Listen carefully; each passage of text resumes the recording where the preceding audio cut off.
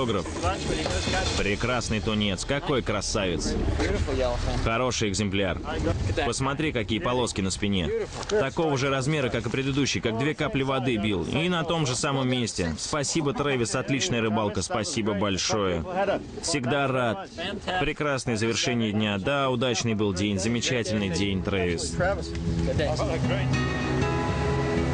Вернувшись на плавучую базу, именуемую местными жителями не иначе как баржа, Гай и Билл предложили капитану Джею Гастину переименовать ее в Панамский рай.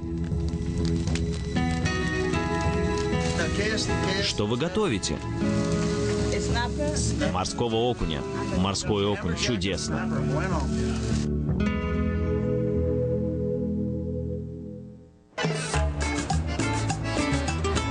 Следующим утром их вновь ждала встреча с Тунцом. Но на этот раз им пришлось добираться до места целых пять часов. Их встретил главный морской биолог американской лаборатории по изучению тунца в Панаме Верн Скоули. Лаборатория была создана с целью более глубокого изучения процесса размножения тунца. And uh, Same time pretty much every day, or About the same time every day, usually about 10:30 in the morning. yeah, they're pretty much. Они уже привыкли к условиям кормежки и... Да, вы это увидите.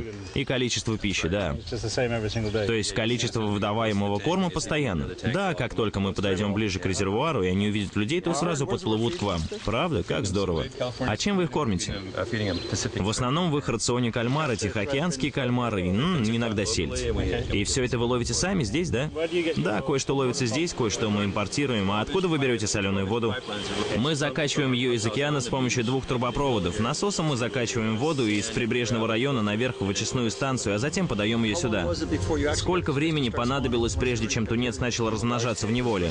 После установки резервуара в июне 1996 года у нас сразу же начали метать икру несколько особей, но это было из-за того, что количество самок изначально было небольшим. А вообще они мечут икру каждый день, за исключением тех дней, когда температура воды в резервуаре падает ниже 24 градусов Цельсия. Ты только посмотри на это. Anywhere between 100,000 С помощью этого приспособления мы можем за два часа собрать от 100 до 500 тысяч икринок. Если нас не устраивает количество икры, мы можем продуть поверхность и собрать до 2-3 миллионов икринок. Все зависит от целей, которые мы преследуем.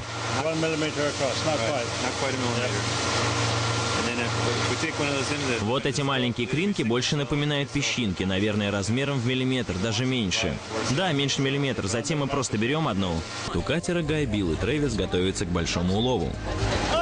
Отлично. Превосходная наживка, отлично. Хорошая маленькая рыбка.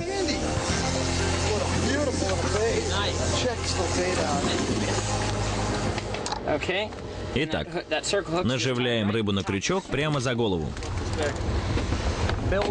Билл, мы сделаем заброс примерно на 15-20 метров, и наживка сделает свое дело.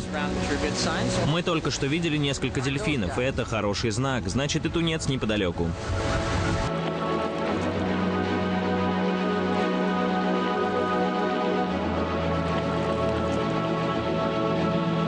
Если хотите найти тунца, ищите прежде всего дельфинов, так как косяки тунца часто плывут под стаями дельфинов. Забрасывайте приманку, ребята, забрасывайте.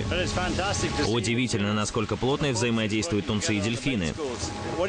Что вы имеете в виду под взаимодействием тунца и дельфина? Тунцы всегда следуют за дельфинами. Дельфины способны находить корм, даже не наблюдая его визуально, благодаря наличию эхолокационных сигналов.